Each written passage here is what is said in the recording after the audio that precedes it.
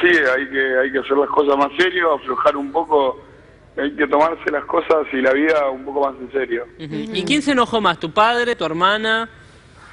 No, yo creo que, que, que enojarse es más que llevarse un disgusto, eh, que fue papá, y pero igual, mi hermana, Zulema, y todo, estuvieron todo el tiempo, y más que nada, mi hermana, mi hermana Zulemita ya estuvo, eh, se preocupó, fue... ¿Seguís eh, internado, no dejó Carlitos? Un minuto estar al lado mío, y Zulema Sí. tampoco. Mm. Son gente, Dios, yo, yo digo que la verdad que Dios te saca algunas personas en la vida y, y te, y te, te devuelve con otras y es el ejemplo de Zulema, ¿no? Que es como, como una persona que yo quiero mucho y es que es como una madre para mí, ¿no?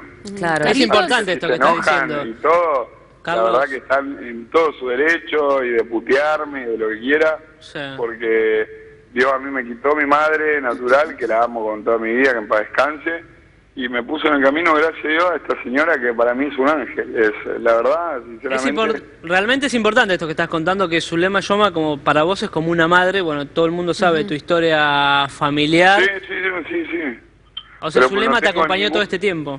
Sí, es que en todo, en la vida en sí ella me da buenos consejos, la verdad que es una tipa muy, una señora muy seria y muy recta, la verdad que me imagino entonces que